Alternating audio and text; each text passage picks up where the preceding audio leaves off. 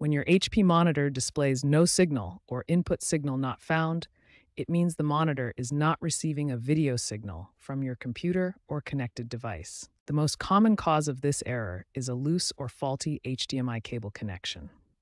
Let's start with the basics, checking your cable connections. First, ensure your HDMI cable is securely plugged into both the monitor and your computer.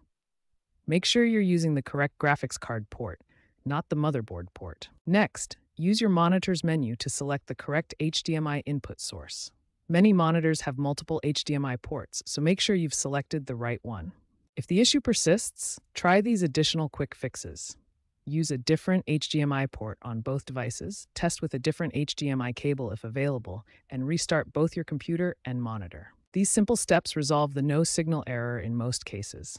Remember, a loose connection is usually the culprit, so always start by checking your cables first. If basic checks haven't resolved your HDMI no signal issue, we need to try advanced troubleshooting steps.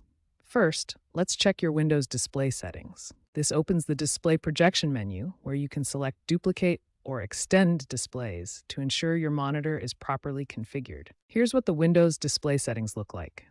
You can see the option to extend displays across multiple monitors, which is often the solution for HDMI detection issues. Next, update your graphics drivers.